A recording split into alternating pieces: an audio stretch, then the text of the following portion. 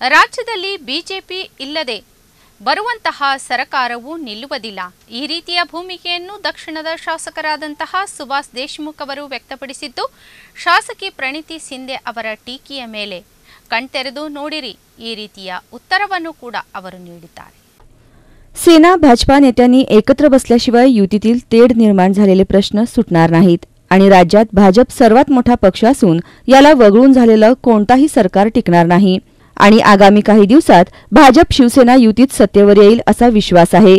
अशी प्रतिक्रिया श्रमिक पत्रकार संघातील वार्तालाप प्रसंगी दक्षिण सोलापूरचे आमदार सुभाष देशमुख यांनी व्यक्त केली आहे. या शेतकऱ्याला न्याय देण्यासाठी महाराष्ट्रातल्या जनतेला न्याय देण्यासाठी सरकार स्थापन होणं अत्यंत गरजेचं असं मला वाटतंय.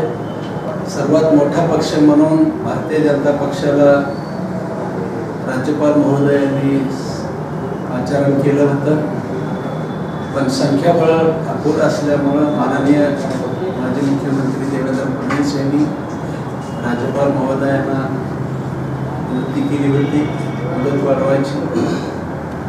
पण राज्यपाल महोदयांनी मुदत वाढवून दिली नाही.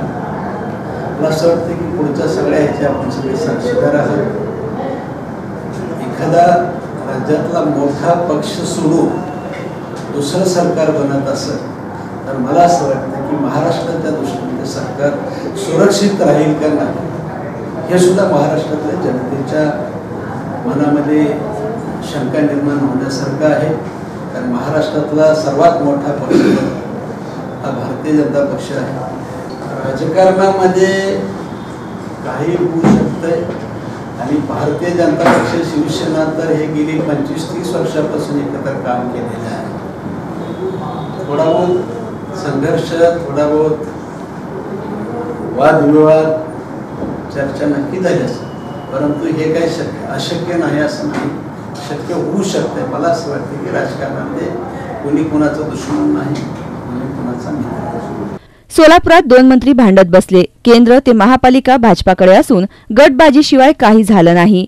या आमदार प्रणिती शिंदे यांच्या आरोपाबाबत बोलताना सुभाष देशमुख म्हणाले खरं तर यांनी नीट डोळे उघडून पाहिलं तर त्यांना गेल्या पंधरा वर्षाच्या तुलनेत गेल्या पाच वर्षात शहर आणि परिसरात झालेली कामं दिसतील.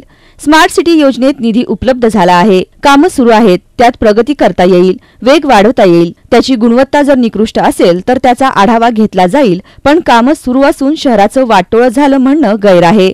उजनी दुसऱ्या लाईनसाठी चारशे कोटीचा निधी आला.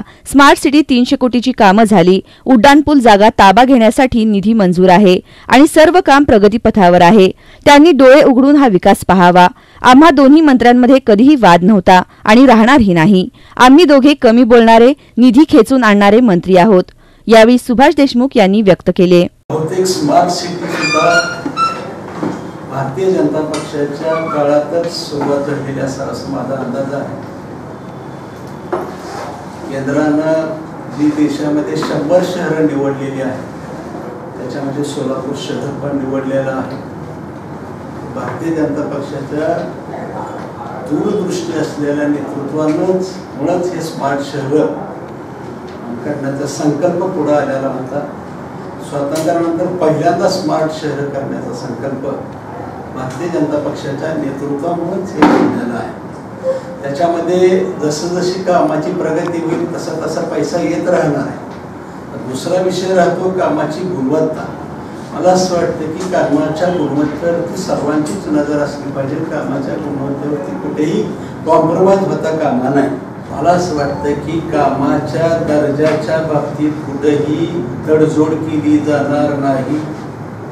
कामाचे गतीनं होण्याच्या दृष्टीनं सुद्धा मुदतीत होण्याच्या दृष्टीनं सुद्धा जर एखादा ठेकेदार काम करत नसेल तर त्याला योग्यशीर कारवाई केली जाईल आणि कामं सुद्धा गतीनं केली जातील कामाची गुणवत्ता राखली जाईल. आणि दिलेला पैशाचा विनियोग हा चांगल्या प्रकारे होऊन स्मार्ट शहर कसं होईल याच्यासाठी प्रयत्न नक्की कधी दर्जा तपासणार कधी कारवाई चौकशी होईल ना. ते चौकशी करायला पण तोपर्यंत करायचं ना. असं वाटत आहे. जर कामाची गुणवत्तेची चौकशी होऊ शकते